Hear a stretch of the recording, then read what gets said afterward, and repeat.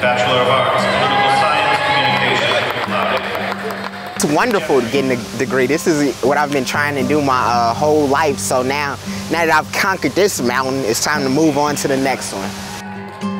Emily Schroeder, Bachelor When we talked about Isaac, you know, Isaac's story before, um, Isaac was on chronic blood transfusion therapy for prevention of complications of sickle cell disease. A couple of things had occurred with his medical care. Also, at the same time, the technology and the tools that we have for making stem cell transplants safer, um, those things were more available. So it seemed like a good time to talk with him and his family about pursuing a curative stem cell transplant. I remember one of my uh, doctors had mentioned it when I was like really young, but my parents were skeptical of it because it was so new. About a year and a half before his actual transplant that I met him for the first time.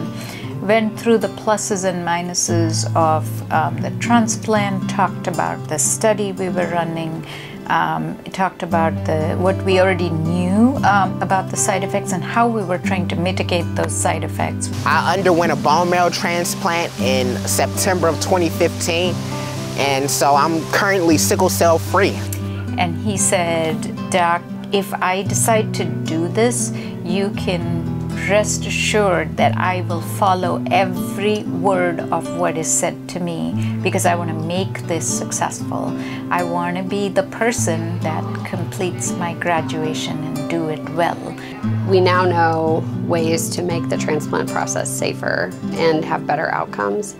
So at St. Louis Children's Hospital, we have now moved towards offering stem cell transplant to a lot more patients than what we would have done in the past. He met his wish, right?